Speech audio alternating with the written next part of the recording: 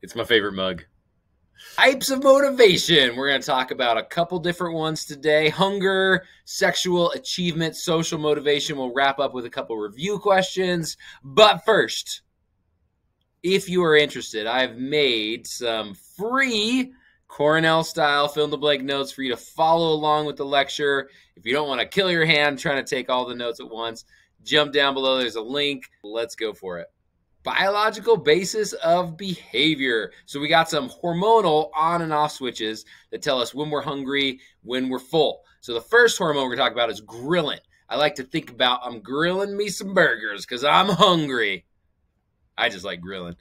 Ghrelin is the hormone released when we need food. It carries the hunger signals. This is very important to the lateral hypothalamus. You got to know that, the LH. The way I like to remember this is the little guy is hungry. Look at that little guy. He's hungry. Chomping down that bottle. You go get it, man. More and more of that ghrelin is produced when we're underweight. So if we're below our set point, we will talk about that in a second. It's going to produce more so that we get our weight back up to that set point. Anorexigenic, that signals satiety, and that is that feeling of fullness. So when we've had enough food, you know this after Thanksgiving, it's been 20 minutes, and you're like, oh no, I ate way too much food. Anorexigenic. That is sending signals to your ventromedial hypothalamus, VH. The way I like to remember this is kind of gross. Vomiting hot dogs. You've eaten way too much, you're going to throw up. Just think about our boy Joey Chestnut, great American hero, hot dog eating contest. They found that rats with lesions on their ventromedial hypothalamus tend to overeat all the way to obesity. So they don't get those signals of feeling full.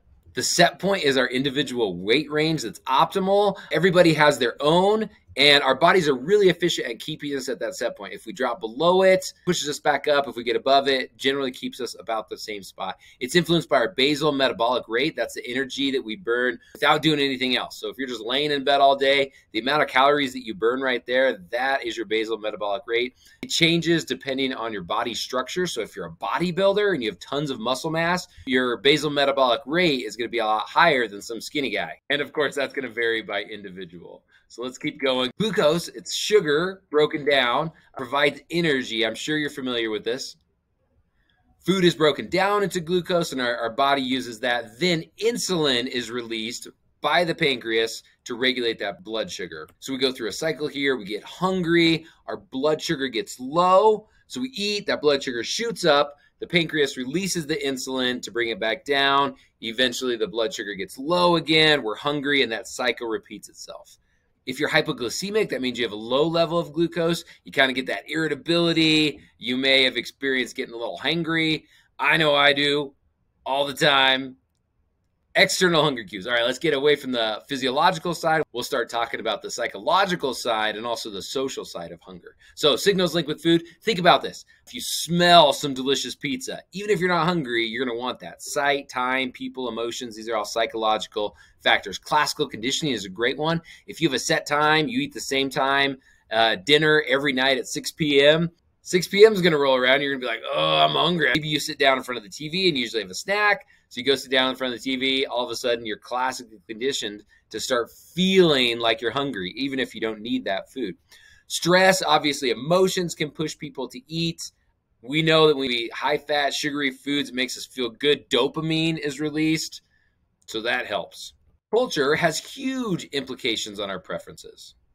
We know that children who are exposed to a variety of foods are more adventurous eaters. Social coaction is being with other people motivates us to eat. So, you know, if you've already had lunch, but your friends are going to get some pizza, you go over just to hang out and sit with them. Oftentimes, you'll find yourself ordering a piece of pizza also. Out of balance eating behaviors. Obesity is an interesting one to look at. I like this little graphic here. It shows the shift over time. I actually had an older one, an old set of notes from 1985 up to 2010, and the percentages were much lower. It was like 0 to 10, 10 to 15, 15 to 20. Over time, we're obviously trending in the wrong direction as a society, but humans have a genetic predisposition towards high fat foods for survival. This makes sense with evolutionary psychology.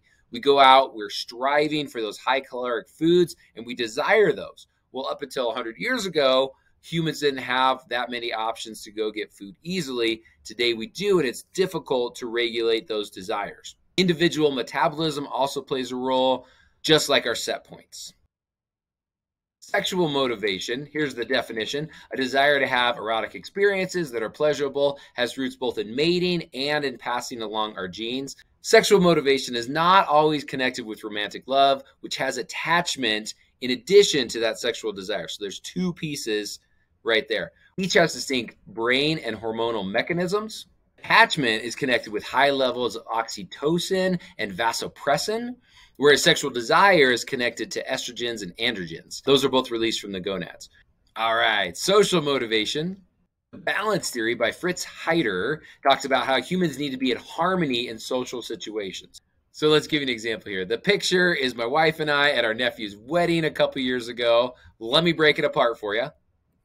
So down here, we have a balanced social interaction. So Jen, my wife, likes me. I like my wife. She likes kittens. You know what? I also like kittens because they're adorable.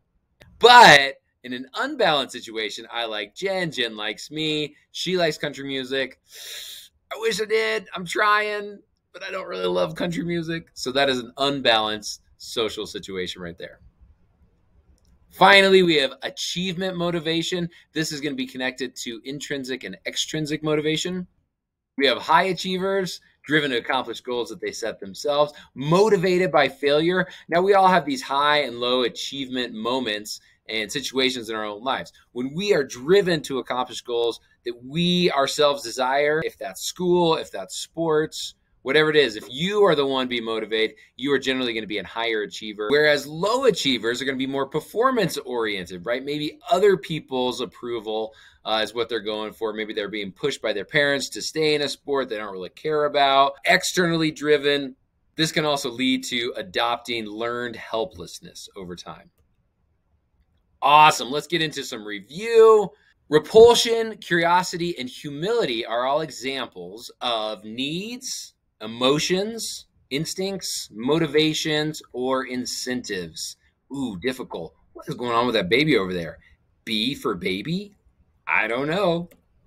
The correct answer is C, instincts. Those are all instincts. That is C for catch. Just trying to throw you off there, throwing up a baby.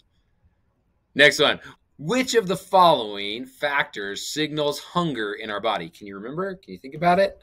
High levels of glucose, stimulation of the lateral hypothalamus, stimulation of the ventromedial hypothalamus, high levels of cholecystokinin, or stomach contractions.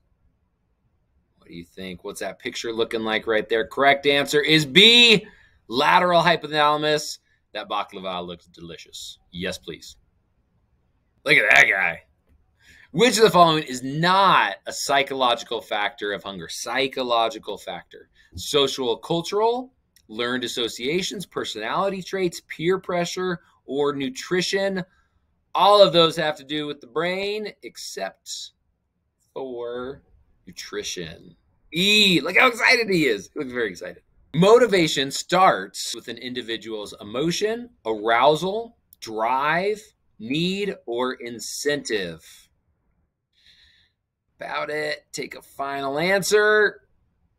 Correct answer is D for detective. That is, it starts with a need. Awesome job. Hey, students, do me a favor. Give me a 20 word summary on the bottom. Really drive home that information. You can also do this like the day before your test is a good review. Go through, give 20 word summaries of each set of notes that you have. Teachers, if you're looking for any resources like these Google Slide notes, I got a bunch at my Teachers Pay Teacher Store in the link down there. Thanks so much, guys. Have a great day. You're the best.